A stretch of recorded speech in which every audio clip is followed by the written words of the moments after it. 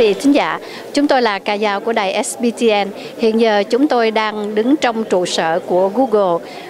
Hôm nay, ngày thứ ba, 12 tháng 3 năm 2013 là ngày trao giải Netizen cho blogger Huỳnh Ngọc Trên. Đây là blogger Việt Nam đầu tiên được trao giải thưởng này. Hiện diện ngày hôm nay có rất là nhiều truyền thông, báo chí Hội phóng viên không biên giới kết hợp với tập đoàn Google sẽ trao giải thưởng Netizen cho blogger Huỳnh Ngọc Trên. Đây là một giải thưởng dành cho những blogger có can đảm lên tiếng nói để đấu tranh chống lại những bất công, chống lại tham nhũng, chống lại áp bức và đòi hỏi tự do dân chủ cho Việt Nam. Président de Reporters sans frontières, Christophe euh, Deloire, son directeur général, Et bien évidemment, le lauréat de l'édition 2013, euh, Monsieur euh, Wynne, nous sommes très heureux de pouvoir euh, être ici ce soir et d'être aux côtés de Reporters sans frontières dans, ce combat. Intrinsèque, je dirais, c'est consubstantiel à la vocation de Google qui est d'organiser l'information et de la rendre accessible au plus grand nombre. D'ailleurs, les Googlers sont très engagés et peut-être certains d'entre vous le savent, mais lors des révolutions arabes, le printemps arabe, certains Googlers ont développé une application qui s'appelle Speak to Tweet, qui a permis en fait, alors qu'Internet était coupé en Égypte, de continuer à accéder à Twitter.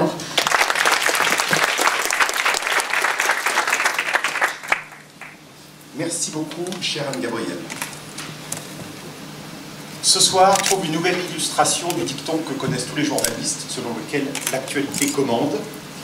Euh, nous attendions, certains d'entre vous le savent, même si son nom ne figurait pas sur le carton d'invitation, la présence de la ministre déléguée chargée des PME et de l'économie numérique, Fleur Pellerin. Malheureusement, euh, même s'il y a encore quelques dizaines de minutes, son ministère a bien communiqué affirmant qu'elle viendrait, elle est dans l'incapacité de venir, retenue à l'Assemblée nationale par une audition sur les ondes électromagnétiques. Manifestement, c'est un débat compliqué parce qu'en tout cas beaucoup plus long que prévu. Décerner le prix du net citoyen aussi tunisien Nawat en 2011 et l'an dernier au centre des comités locaux de coordination syriens. La parole revient maintenant, et c'est là que j'ai eu un tout petit tremblement parce qu'il y avait la parole revient à Madame la Ministre, la parole revient au président de Reporters sans frontières, Dominique Gérard.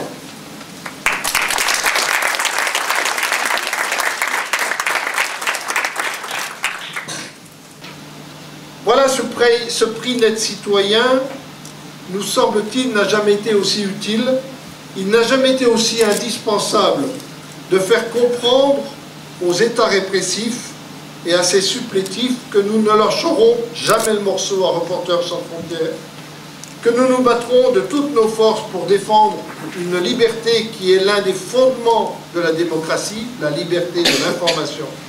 Il n'a jamais été aussi nécessaire de soutenir ceux qui prennent des risques pour nous informer et il est très important, il est nécessaire qu'ils sachent qu'ils ne sont pas seuls et qu'ils ne seront pas oubliés, qu'ils sont pour nous des exemples, qu'ils sont pour nous des éclaireurs, qu'ils sont pour nous des citoyens modèles et au final des modèles de citoyens.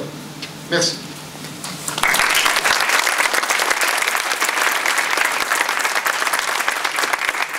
Là encore, pour ceux qui l'ignoreraient encore, Reporters sans frontières a lancé récemment sa campagne Sochi, euh, qui se poursuivra euh, naturellement jusqu'à euh, l'ouverture des Jeux Olympiques. Murat Tungishbayev du Kazakhstan, célèbre blogueur kazakh, il a cofondé l'ONG Liberty en novembre 2011. Il a fait l'objet d'une campagne de discrédit à travers plusieurs articles anonymes postés sur Internet, a reçu des menaces et des intimidations malheureusement extrêmement dures des services secrets de son pays. Nous sommes, et au nom de Reporters sans frontières, président Dominique Gerbeau, de l'ensemble de l'équipe, je suis très heureux d'accueillir Ruin Gok Chen.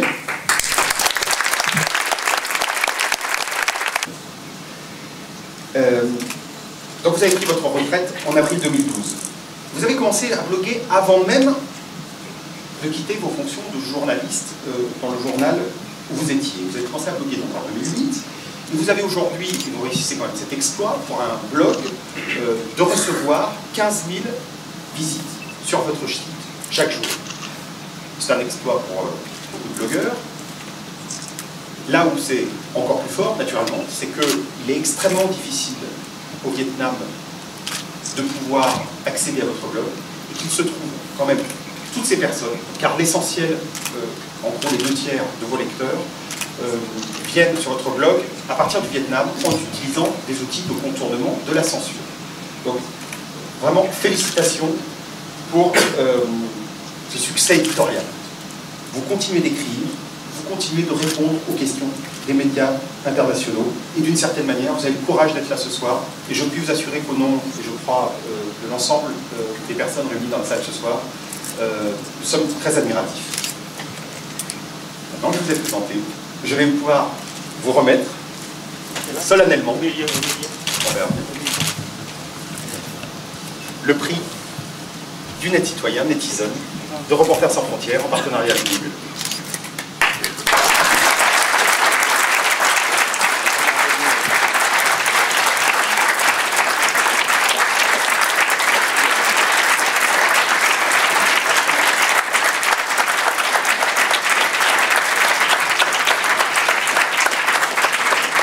Tôi làm báo 20 năm, thì thông thường tôi phải ngồi dưới để ờ, đi viết cho người ta và chụp hình cho mọi người. Thì hôm nay ờ, nhờ cái ờ, netizen thì tôi trở thành người quan trọng là đứng trên đây để cho những người khác chụp hình và viết về tôi.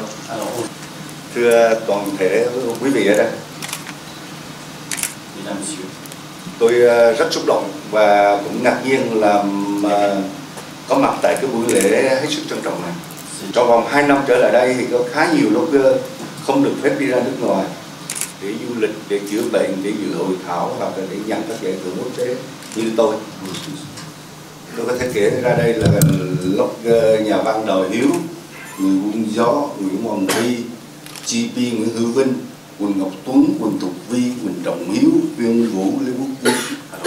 Do vậy sự có mặt của tôi ở đây là hết sức bất ngờ, ngạc nhiên gây ngạc nhiên cho chính tôi có thể đó là do cái uy tín của tổ chức phóng viên không biên giới cũng như của tập đoàn Google người tổ chức và tài trợ cho cái ờ, giải netizen cũng có thể đó là do những cuộc vận động đấu tranh cho quyền tự do cho dân chủ của nước tôi đang diễn ra khá sôi động thông qua việc góp ý sửa đổi hiến pháp. Có thể nói thêm về cái, cái cuộc vận động đấu tranh cho nhân quyền và dân chủ đang diễn ra khá sôi nổi ở đất nước chúng tôi.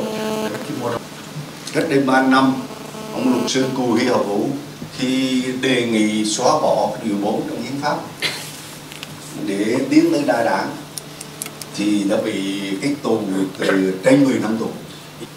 Nhưng ngày hôm nay, hiện giờ thì có đến 20.000 người đã ký đơn vào trong các kiến nghị yêu cầu và cầm quyền bỏ đi cái điều 4 và dân chủ hóa thể chế chính trị của đất nước và làm nên được cái điều kỳ diệu đó sự thay đổi kỳ diệu đó chính là nhờ vào cái mạng internet. Như quý vị đã biết, nhờ có mạng internet mà người dân của chúng tôi có thể nói lên nguyện vọng, tiếng nói đích thực của mình.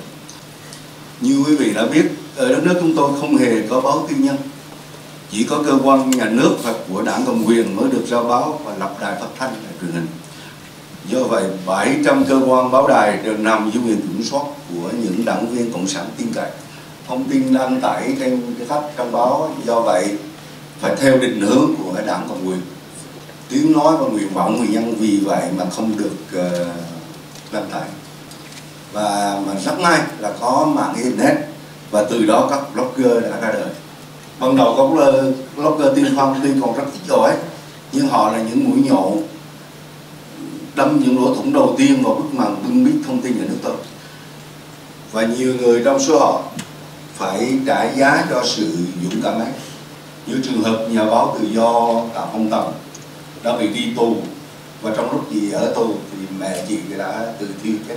Bên cạnh đó còn nhiều người khác đã bị ngồi trong nhà tù, trong trại giáo dục, bị quản thúc hoặc thậm chí bị cưỡng bức vào trong nhà trưng điên đó là các blogger và các nhà đấu tranh cho dân chủ ông hòa như ông thích quảng đạo, như nguyễn văn lý, nguyễn đăng quế, nguyễn văn đài hà sĩ phu bùi sĩ, minh quốc bùi hào vũ đỗ thị minh hạnh bùi thị minh hà phan thanh nghiên điếu cài nguyễn văn hải phan thanh hải phạm bá hải lê công định trần quỳnh duy thức nguyễn Tiến trung trần anh kim nhạc sĩ vĩnh khang việt khang nhạc sĩ trần vũ văn bình lê anh hùng và những người trẻ sau này như Nguyễn Phương Nguyên, Quân Lê Sơn và nhóm các thanh niên công giáo ở Vinh.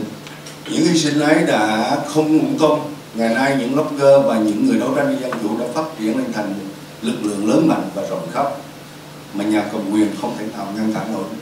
Hàng trăm lốc cổ suý cho đổi mới, cổ suý cho tự do ngôn luận, cho dân chủ thu hút lượng người đọc khổng lồ và kết nối với nhau thành một hệ thống báo chí mà chúng tôi gọi là báo lì dân.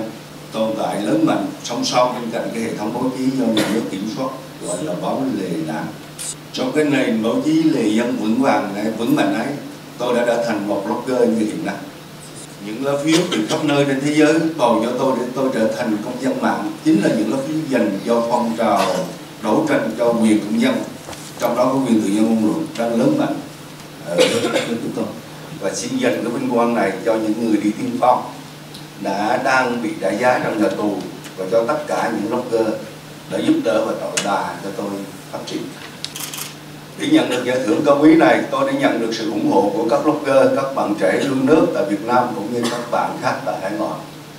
Riêng với cá nhân tôi, từ khi nhận được giải thưởng cao quý này, tôi cảm nhận được sự tin yêu của bạn đọc khắp nơi dành cho blog Quỳnh Ngọc Trên của tôi.